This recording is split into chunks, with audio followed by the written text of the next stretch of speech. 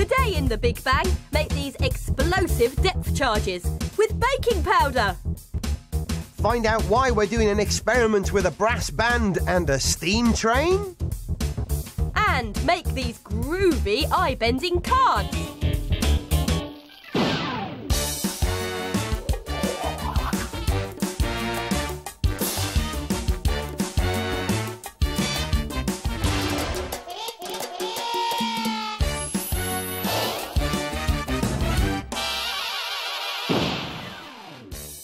Hello, Hello. and welcome to the Big Bang. Here's a puzzle for you. Can you move a plastic beaker full of juice across a table using only a balloon? Gareth, Can you touch the beaker? only using the balloon. Okay, well, if I stretch the balloon, I should be able to twang it across the table. Ah! It's going to knock it over. It can be done. Have a think about it and I'll reveal the secret at the end of the show. Hang on, I've got it. No, I haven't. Violet, it looks like Doris the octopus has been out of her tank again. Oh no, what's she stolen this time? Well, look, she's got all our pens and stuff. Gareth, break out the depth charges. Right. Don't worry. Doris doesn't mind. This is just our latest game. The idea is to shake loose all the stuff that Doris has stolen. And the best part of this game is the way that we shake the stuff loose. Depth charges. Oh! Nearly got one. You can make depth charges even if you haven't got a pesky octopus that steals everything. Start off with one of those plastic containers that you get film in. Make sure it's round and that it's one of the ones where the lid seals on the inside, not the outside. Weigh your container down with six small marbles, then it'll sink to the bottom. And then cover the marbles with vinegar. The clear stuff is best of all, so it just comes above the marbles like that. Then you'll need some baking powder. You get baking powder from the baking department of a supermarket, and you'll need one of the lids off a sweet tube and fill that with baking powder, like so. The next step is to float that sweet lid full of baking powder in the vinegar very carefully. That's it. And then also carefully replace the lid. You now have a primed depth charge. So carefully again, hold it over the water and to set it off, tip it up and drop it in. Ready? It works because the vinegar reacts with the baking powder, creating carbon dioxide, a gas which builds up until it pops the lid off. The aim of the game is to dislodge the stationery that Doris has stolen. The stationery is stuck to a ping pong ball stuck in a cocktail stick, and that's all stuck in a bit of modelling clay at the bottom of the tank. Now, when the depth charge explodes, that should dislodge the stick, and because the ping pong ball is full of air, it'll all float to the top of the tank. Now, whatever you do, don't do this in a fish tank with real fish in it. Doris is, of course, made of modelling clay. And if you'd like to make a Doris, there are lots of pictures of her on the Big Bang website. OK, Gareth, I reckon three more should do it. OK, Ready? on. I've got some primed here. Go on. Oh, one lucky. Another one? Yeah. Ooh, Oh, you got one? Oh, no. I'm going to go for the pink one.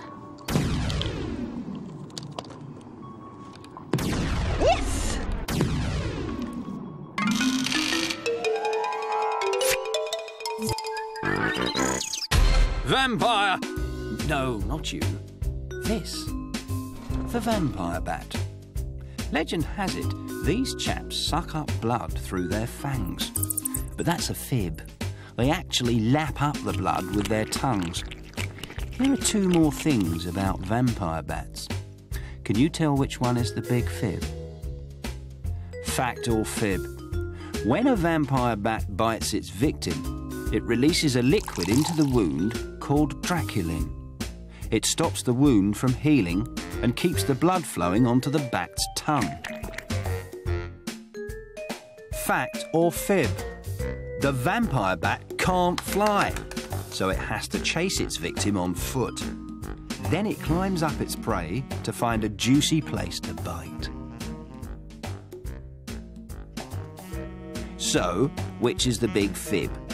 Make your choice now. Well, vampires do produce a chemical called Draculin, so the big fibber is earnest. Vampire bats can fly. But how weird is this? They really do walk up to their victims and then climb up them very carefully to make sure they don't wake them up. Sounds batty, but hey, whatever works for you.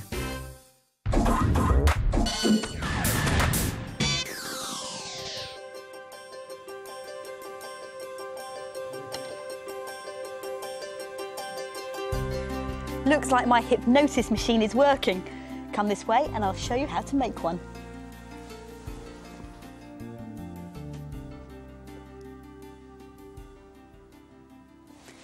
You start off with a biro. In fact, you only need the lid of the biro and tape it to a bit of garden cane like that. Now, slot your garden cane into a straw and cut off small amounts of straw, two you'll need, to tape to either end of a box file. Now, slot in your garden cane. There. This hook is just a giant paper clip. Get someone who's good with pliers to cut and shape it into a swan shape and then slot that in as well.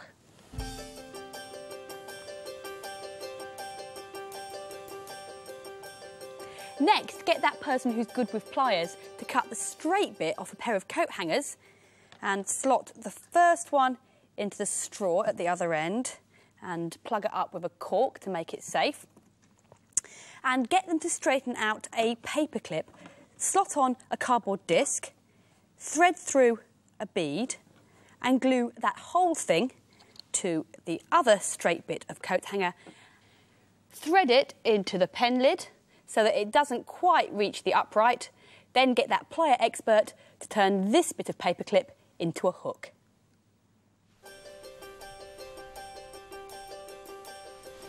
You are in my power. Glue a marble to the end of a piece of string and then tape it here. And it'll all droop down now, so we need some tacky blue stuff to counterbalance it.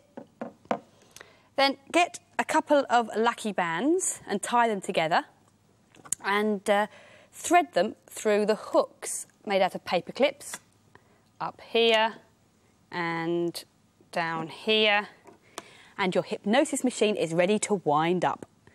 Be careful of your eyes when you're doing this.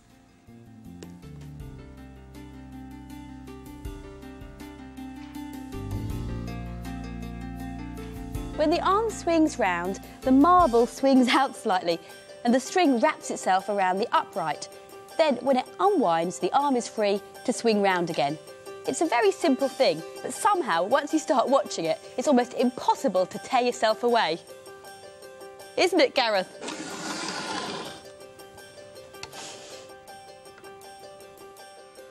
You'll find instructions for my hypnosis machine and everything else from the show on the Big Bang website.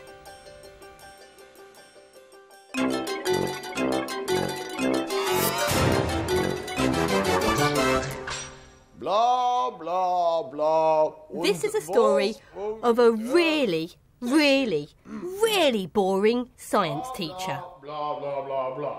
Blah, blah, blah. Das war's. Ich meine, bin ich- His name was Christian Doppler. He taught physics at a university in Austria. Austria's like Germany, only more boring. Oh, you swing in eine Bier und Alexander, was muss das denn ist echt was? You know, sometimes I am so boring that I bore myself to sleep.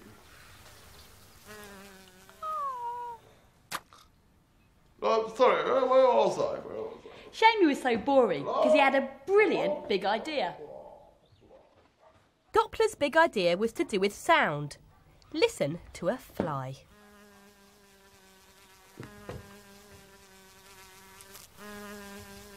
It sounds higher when it comes towards you and lower when it hmm. moves away. Interesting. Very, very interesting. I wonder if this is to do with the sound waves. Doppler knew that sounds travel as waves through the air, and he wondered if the change might be caused by the sound waves getting squashed together as the fly flew towards him and then stretched out as as the fly moved away. News of Doppler's theory reached Christoph Buys Ballot. He was a scientist who lived in Holland, which is like Germany, only a lot more interesting. He was so thrilled by Doppler's sound wave idea that he devised an experiment to test it. One, two, three, four. He persuaded a brass band to play a single note.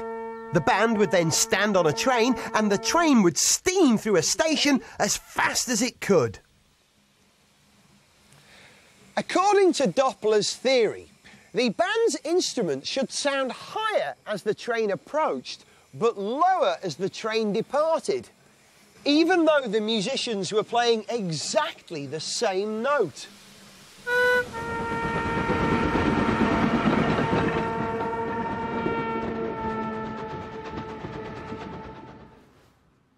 It worked! Listen as the note changes.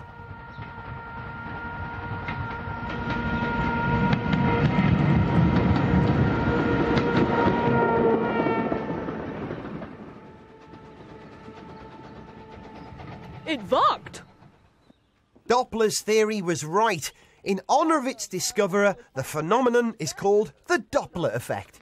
Listen for it yourself the next time you hear a police siren or a brass band on a steam train.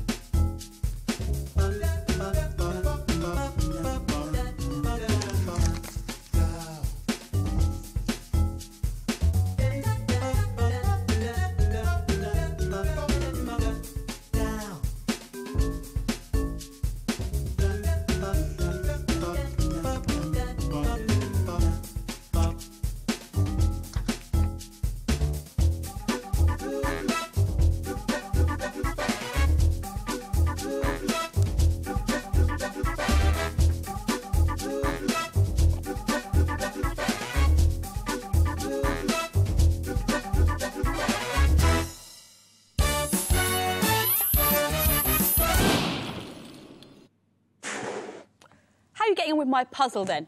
You had to use a balloon to move a plastic beaker full of juice across a table. I've got it, I've got it, I've got it. You blow up the balloon and in doing so, move the tumbler. Watch this.